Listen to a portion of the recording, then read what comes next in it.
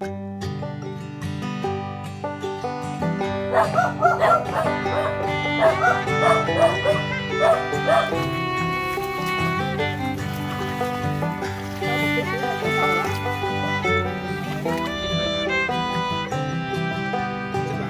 anh thì ngập có khoảng là 70% nước đó. À, những người mà đất lung á thì ngập qua đồng đồng luôn. Mưa ngày mưa đêm ở ngoài sông nó cao hơn nó chảy vào trong ruộng chứ mình không có khui ra xả ra được.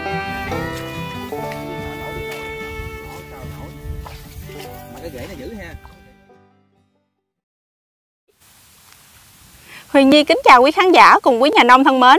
Thưa bà con, giai đoạn mưa bão kết hợp với triều cường dâng cao những ngày qua đã làm cho các trà lúa giai đoạn đồng trổ tại huyện Hòa Bình, tỉnh Bạc Liêu rơi vào tình trạng ngập sâu trong nước khiến bà con vô cùng lo lắng. Do đó thì sau khi nhận được tin của quý nhà nông thì ban biên tập đã đến đây để mà đánh giá tình hình và đề ra các giải pháp chăm sóc ruộng lúa trong giai đoạn ngập nước. Ngay bây giờ xin mời quý anh quý chú hãy cùng Huyền Nhi đi thăm đồng nhé.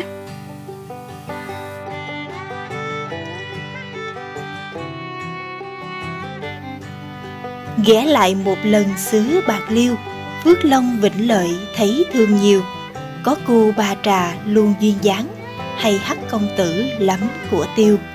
Công nhận, đất bạc liêu không những được thiên nhiên ưu đãi cho sản vật, mà đây còn là cái nôi của những con người tài hoa, hay những lời ca, tiếng hát gợi lên nỗi lòng người xa xứ.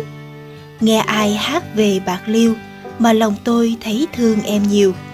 Chưa biết sẽ được thăm em gái nào đây nên nghe có chuyến công tác Bạc Liêu thì anh em ban biên tập háo hức ra mặt. Chuyến xe nông nghiệp kết nối khởi hành từ tờ mờ sáng. Sau đoạn đường dài di chuyển, chúng tôi đến với khu vực canh tác lúa thuộc xã Minh Diệu, huyện Hòa Bình. Cửa xe vừa mở đã thấy quý anh quý chú đang nhâm nhi trà bánh đón đợi. Anh Diện mở lời, hôm nay nghe có kỹ sư xuống chơi nên bà con tính nhờ kỹ sư thăm khám cho mấy em gái ngoài đồng. Thấy chúng tôi ngơ ngác chưa hiểu ý, anh Diện tiếp lời thì mấy em gái 18, đại thơm nàng hoa ngoài đồng đang bị ngập sâu tới cổ, biết có bệnh đau gì không nữa. Thế là vỡ lẽ, chuyện là các trà lúa giai đoạn đồng trổ ở khu vực này bị ngập trong nước mưa gần một tháng qua. Bà con sợ cây lúa bị ảnh hưởng xấu nên đợi anh em xuống đánh giá tình hình xem thế nào. Nghe xong chúng tôi bay nhanh ra đồng. Chuyến thăm đồng ngày hôm nay nhiều cảm xúc hơn mọi khi. Đất ngập nước không thấy đường đi nên anh em cứ lần mò từng bước nhỏ không khéo lọt đường mương như chơi. Nhà nông một phần quen đường nên đi lẹ, phần do bụng dạ không yên nên những ngày qua dù mưa ngập cũng lội ra đồng, riết thuộc từng chỗ lầy, chỗ vấp. Qua đợt này bữa nay là được 66 ngày. Cỡ tuần này là mưa là ngày mưa đêm, mưa ngày mưa đêm là lúa nó ảnh hưởng bị đốm dằn với với cháy bị lá nhiều lắm hình ở đây thì anh thấy à, lúa nó à, lượng mưa thì nó, từng rồi thì nó mưa cũng kéo dài cũng khoảng à, 3 đêm 3 ngày. Mà ở đây cái lượng nước mà ngập thì anh thấy cũng đến đổi bằng so với bên anh. Bên anh thì ngập có khoảng là 70 phần trăm nước đó. Mà nước bên bển thì sáng nó ngập thì chiều nó thì thoát, nó rút ra có khoảng là được 20 phần trăm nước. Có bên anh đó là những người mà đất lung thì ngập qua đồng đồng luôn tại vì người ta xài uh, thằng uh, bonsai á thuốc lùng nó phải xài nhiều đợt quá. Rồi xài rồi cái tình hình thời tiết nó nó năm nay là thời à, tiết thời tiết nó trái chiều nè. Chứ mà mấy năm trước là anh thấy là nó không có tính đổi như, như vậy. Tháng 7 là năm rồi là mấy năm rồi là lượng mưa là rất là ít. Năm nay là không biết lượng mưa sao mà nó ập xuống ngay cái đợt mà lúa làm đồng gì luôn rất là ảnh hưởng. Ờ, trong trong ờ, hỏng hổng gài là cái lượng mưa là theo anh ờ, ước tính là có khoảng mười mười mấy ngày mưa ngày mưa đêm. Rồi với nắng nắng thì có khoảng được hai ba ngày xen kẽ thôi à. Thì ờ, nước nước nó ngập với cái khu cửa, cửa bên anh, anh bên đây thì nó nó gò thì nó cũng đỡ. Còn lượng nước với ở ngoài sông với trong ruộng thì nó nó bằng nhau hoặc là ở ngoài sông nó cao hơn nó chảy vào trong ruộng chứ mình không có khui ra xả ra được có miếng thì nó ngập là hơn nửa cây lúa. Có miếng thì thì, thì ngập hơn nó do họ xài thuốc lùng nhiều quá ngập ờ, muốn tới lá luôn. Kính thưa quý nhà nông, kính thưa quý khán giả thân mến, thì những ngày vừa qua thì bà con chúng ta có điểm qua những cái thông tin trên Facebook nè, trên những hội nhóm canh tác lúa thì thấy bà con chúng ta ở khu vực Bạc Liêu rồi Cà Mau đưa lên những bức hình thì nước đang ngập sâu bà con. Và hôm nay Hoàng Vũ đã đến thực tế đồng ruộng thì à, mình đo đó bà con, những cái ruộng mặc dù là ruộng gò thì nó cũng phải ngập khoảng 4 tấc còn những cái ruộng lung đó bà con thì có khi nó chỉ còn lé đé uh, chút xíu nữa là nó ngập qua cái chớp lá luôn rồi. Hiện tại có hai xu hướng để bổ sung dinh dưỡng cho ruộng lúa. Một phần thì bà con muốn rải cái phân bón dưới gốc bà con và uh, một phần thì bà con sẽ bổ sung dinh dưỡng qua lá. Thì Hoàng Vũ sẽ khuyên bà con mình sẽ ưu tiên qua bên cái phần trên lá bà con. Hiện tại thì nước nó ngập rất là sâu và à, chúng ta nếu như mà mình rải phân xuống cấp thì thực sự cái khả năng hấp thu dinh dưỡng cũng rất là kém và chúng ta lại tốn kém đi cái phần phân bón đó bà con mình ha. Như vậy thì mình chuyển qua mình bổ sung bên trên lá và mình bổ sung những cái nhóm gì? Đầu tiên sẽ là nhóm chất điều hòa sinh dưỡng racinolite rồi để cho nó tăng cường những khả năng chống sốc và nó tăng cường cái khả năng vận chuyển oxy bên dưới để nó nuôi cái cây của chúng ta. Và một cái nhóm thứ hai là cái nhóm trung vi lượng thì bà con mình có thể đưa vào cái Nutri hạt tiêu Tây Ban Nha cũng được hoặc là mình đưa vào cái nano kẽm 700 cũng được bà con để mình ngăn ngừa những cái tác nhân do nấm do vi khuẩn vì vài ngày tới thì bắt đầu cái cây lúa của chúng ta đã trổ ra được rồi hết bà con ha? Thì đó là cái phần dinh dưỡng. Còn bây giờ thì chúng ta sẽ tiếp tục gặp gỡ những nhà nông để mình đánh giá coi trên cánh đồng này có những loại dịch hại gì và mình kết hợp mình phun xịt luôn. Nhớ ngày trước làm lúa mùa, nước tới đâu lúa nổi tới đó nên bà con không sợ. Giờ làm lúa thần nông thì năng suất cao nhưng vượt nước kém. Mưa lớn kết hợp triều cường, nước lên nhanh, ngập sâu bơm không xuể. Nhà nông hết cảnh chỉ biết đứng nhìn lúa chịu ngập.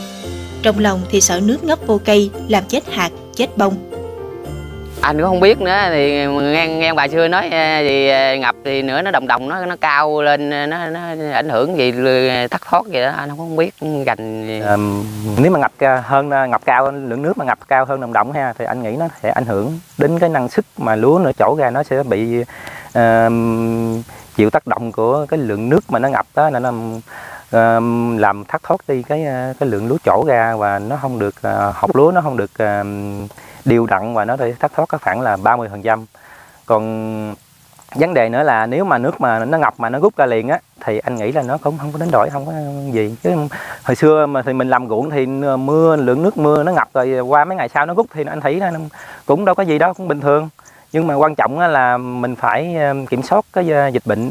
Là khi mà nước mà rút ra được, phải không? Mình thấy tình hình mà ổn định, phải không? Mình phải ờ, xịt ờ, thuốc dưỡng hay là mình ngừa khuẩn trước thì nó không khi mà lúa trổ ra thì anh nghĩ nó cũng không có ảnh hưởng. Sợ nước nó nó nó ngập đồng đồng nè. Rồi đồng đồng nó nó nó ảnh hưởng nó ốm. Nó không có được no rồi sợ không sợ là không biết nó có thấm nước có thấm vô cái cái lúc lúa mình đang làm đồng hay không. Rồi tới chừng mà trổ lên nó nó nó nó có hột lúa nó có thụ phấn đâu được không? Thấy bà con lo lắng, anh em kỹ thuật liền phân tích về những điểm thú vị của cây lúa so với các loại cây trồng khác. Đó là khả năng vận chuyển oxy từ lá xuống rễ. Nhờ cơ chế đặc biệt này, nên dù chịu cảnh ngập nước thì cây lúa vẫn duy trì hoạt động sống, không làm chết cây. Nhà nông nghe xong cũng tâm đắc, nhưng lại nghĩ đến việc cây lúa đang ôm đồng nằm nước lâu ngày, liệu có trổ nổi không? Muốn biết thì sẽ ra coi liền.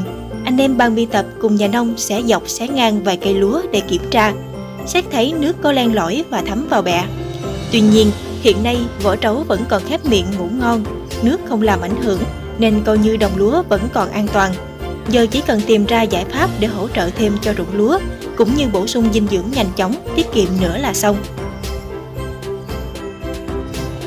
Vâng và bà con chúng ta lo lắng hiện nay đó là nước có ngập vô thấm vô cái đồng đồng được hay không và nó có làm ảnh hưởng gì tới cái bông lúa đang còn trong bụng hay không thì à, nãy giờ bà con mình thấy là Hoàng Vũ cùng nhà nông đã có tách ra để coi bà con thực tế thì với cái lực của nước vậy nó vẫn len lỏi nó ngấm vô cái phần bẹ và nó vô luôn ở trong. Nhưng mà nó sẽ không ảnh hưởng gì hết bà con ha. Tại vì lúc này uh, cái vỏ chấu của chúng ta nó vẫn còn khép lại rất là kín. Khi nào nó trổ ra ngoài nó mới hả họng thì bà con mình mới sợ. Còn bây giờ thì coi như nó vẫn còn an toàn. Và những ngày tới đó bà con khi lúa chúng ta trổ ra thì cái phần lóng đó nó sẽ dương lên thiệt là dài. Nó đẩy cái bông lúa lên trên. Coi như là mình không có sợ gì hết rồi bà con ha tuy nhiên mình nói đi cũng phải nói lại bà con trong khoảng thời gian ngập sâu như vậy thì chắc chắn là à, cái sức khỏe của cây lúa của chúng ta không có được tốt như bình thường. Tại sao? Giống như mình mình ngập thì mình phải ngoi lên để mình thở. Còn cây lúa nó đâu có ngoi lên được thì bà con mình thấy cái phần oxy nó phải vận chuyển từ ở trên lá xuống nó nuôi ở dưới. Và cái bộ rễ bây giờ nó cũng không có phát triển tốt bằng cái ruộng bình thường bà con mình tháo nước ra được các bà con ha?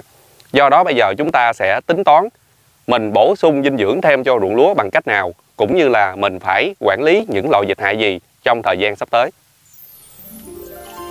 Làm nông không lúc nào thiếu đi những nỗi trăn trở. Vừa giải quyết xong vấn đề bên dưới, bà con mình lại quay sang để ý sâu bệnh bên trên. Sau đợt mưa lớn là những khoảng ngày nắng nóng của tiết đại thử, ẩm độ không khí tăng cao đã tạo điều kiện cho một số đối tượng dịch hại phát sinh. Anh Tư Cần chỉ vào đám ruộng trước mắt rồi bộc bạch. Mấy em gái này tuy đẹp nhưng dễ tổn thương, thời tiết biến đổi nhẹ là phát bệnh liền. Cụ thể, các ruộng lúa giống đài thơm, nàng hoa đã xuất hiện nhiều chòm bị bệnh cháy mìa lá, đấm vàng, bẻ lá cờ bị thối do ngập nước lâu ngày. Bên cạnh đó, còn một biểu hiện hiếm gặp là những sọc nhỏ phát sinh từ phần thịt lá, vết bệnh màu xanh đậm, dạng thấm nước và trong mờ. Ánh sáng có thể xuyên qua được. Chúng tôi khẳng định đây chính là vết bệnh sọc trong do vi khuẩn gây ra. Nên sợ cái bệnh à, vi khuẩn với à, cháy bị lá. Nó không có à, vô gạo được á. Rồi mình thắt thoát của mình mình bằng có 4 tháng trời mà được trong trên nông dân mà trong nhờ vào lúa mà trong 4 tháng này mà nó bị thất thoát nữa mình lỗ sợ lỗ lã rồi mình không có tiền đắp vô nếu mà lúa mà giai đoạn mà qua 60 ngày phải không là lúa tượng đồng mà ló cổ phải không anh nghĩ là không nên gãy phân nữa tại vì cái lượng mưa này á, là uh, cái thời tiết ờ, đợt này á, là anh thấy cái lượng mưa nó rất là kéo dài nhưng mà nếu mà mình cải phân nữa là nó sẽ dư đạm và cái nước mưa nó sẽ làm ảnh hưởng à, xuống à, cái à, lúa của mình nữa là anh có nghe nhiều người ta nói á, là lượng mưa đợt này á, là nó có cái chắc của cái cái quá chắc của cái nước mưa nó sẽ làm tăng cái nhiệt độ đạm lên và ảnh hưởng lúa của mình đó, là nó sẽ gây ra thêm có những cái tác động là thứ nhất là vi khuẩn hay là cháy bì lá ở bên đây thì anh ờ, cánh đồng bên đây thì anh thấy là mấy năm rồi là, là người ta làm là cũng có cháy bị lá nhưng mà ít nhưng mà chỉ có năm nay thôi. Năm nay đang chịu ảnh hưởng thời tiết là nó nó mưa ngày mưa đêm nó cũng kéo dài cả tuần. Chứ mấy năm ờ, vừa rồi là người ta làm là cũng ít rồi người ta xịt ờ, thuốc rồi ngừa khuẩn này kia đó. Rồi với cũng không có đến đổi. Ờ, hiện tại là anh thấy là cái bệnh sọc trong chọc trong là thấy nó là là nó nhiều. Còn cháy về lá thì cái lượng thì nó ít hơn. Bà con thân mến thì chúng ta đã xong cái phần dinh dưỡng chăm sóc ruộng lúa rồi. Thì giờ mình coi nó như một ruộng lúa bình thường đi bà con. Bà con mình à, nhớ là cái đợt trước ở ngoài Quế đó bà con, Có thời điểm là cái ruộng lúa ngập sâu hoàn toàn luôn. Và khi tới chừng mà nước rút chỗ ra được thì mình vẫn bình thường đó bà con ha. Vừa qua đó quay lại cái đối tượng dịch hại. Thì bây giờ có cái gì mình xử lý cái đấy bà con. Vâng và hiện tại trên cánh đồng thì Hoàng Vũ phát hiện, Một là cái trái bị lá do vi khuẩn, Thứ hai là cái bệnh sọc trong cũng do vi khuẩn luôn bà con. Và thêm một cái rủi ro nữa, khi bà con chúng ta rút nước đó, thì có thể nó phát sinh ra cái đốm vằn hoặc là cái bệnh thối bẹ lá cờ bên dưới bà con ha. Do đó trong cái bình phun của chúng ta sẽ có thuốc trừ nấm cộng với cái chế phẩm thuốc trừ vi khuẩn bà con ha. Thì bà con mình có thể kết hợp cái Happygon 500 SC cộng với cái khuẩn ABN ở giai đoạn chỗ lẹt xẹt này, thì coi như là nó sẽ quản lý tốt những bệnh do nấm cũng như những bệnh do vi khuẩn. Và à, tới đây thì ờ, coi như Hoàng Vũ cùng quý nhà nông kinh nghiệm đã bày ra những giải pháp chăm sóc ruộng lúa rồi. Thì hy vọng là khi bà con chúng ta nghe được cái video clip này mình sẽ có sự yên tâm hơn à, trong những ngày canh tác sắp tới. Và Hoàng Vũ xin chúc cho à, bà con nơi đây sẽ có những cái khoảng thời gian à, được cái thời tiết nắng đẹp ha bà con ha? Để chúng ta có được ruộng lúa từ giai đoạn chỗ lẹt xẹt đến giai đoạn chính à, được à, thuận lợi nhất. Như vậy, vấn đề đã được giải quyết.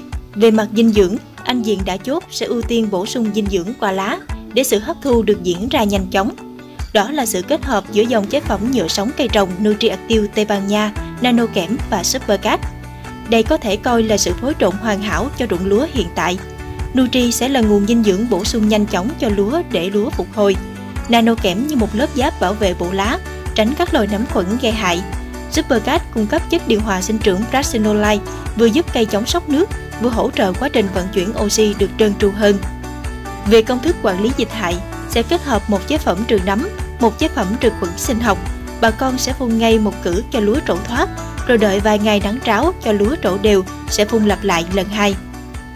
Kính thưa quý nhà nông cùng quý khán giả thân mến, thông qua cuộc trao đổi vừa rồi thì chúng ta đã có được giải pháp chăm sóc ruộng lúa trong điều kiện ngập nước. Và để bà con mình có thêm niềm tin an tâm ứng dụng thì à, xin mời quý anh, quý chú sẽ chuyển sang cánh đồng tiếp theo. Trước đó cũng gặp tình trạng ngập sâu tương tự, nhưng mà hiện tại thì à, lúa vào giai đoạn trổ với sức khỏe rất là tốt. Huyền Nhi kính chúc quý bà con sẽ có thật nhiều sức khỏe, thật nhiều niềm vui trong quá trình canh tác. Xin chào và hẹn gặp lại. Có câu nói có sách, mách có chứng. Để tạo niềm tin cho bà con an tâm ứng dụng giải pháp, chúng ta hãy cùng đến và thăm lại trà lúa hè thu tại thị xã Ngã Năm, tỉnh Sóc Trăng, cách khu vực này không xa. Vài ngày trước cũng rơi vào tình trạng tương tự. Đồng lúa ngập trong nước nhiều ngày, nấm khuẩn cũng nhân cơ hội mưa dập liên tục mà gây hại trên lá. Thông qua sự kết nối từ kênh youtube An Phát Nông, ban biên tập đã kịp thời chuyển giao các giải pháp khôi phục ruộng lúa. Thời điểm hiện tại, lúa đã chín đỏ đuôi một cách tốt đẹp. Nhìn những bông lúa đang cúi đầu chỉ còn cách mặt nước vài phân, ước chừng cá rô cũng có thể rỉa, mà chúng tôi thấy mừng thai cho bà con mình. Ruộng lúa đã lột xác và trổ thành công. Xét thấy tình hình đang rất khả quan, hứa hẹn cho một vụ mùa phía trước đầy thắng lợi. Hy vọng những thước hình này sẽ thay cho lời kết của ban biên tập. Kính chúc quý nhà nông sắp tới sẽ có khoảng ngày nắng ráo, nước rút êm tạo điều kiện thuận lợi trong canh tác. Xin chúc cho em gái đài thơm, nàng hoa trổ thoát thành công, vào gạo no đầy, mang lại niềm tin về năng suất nhé.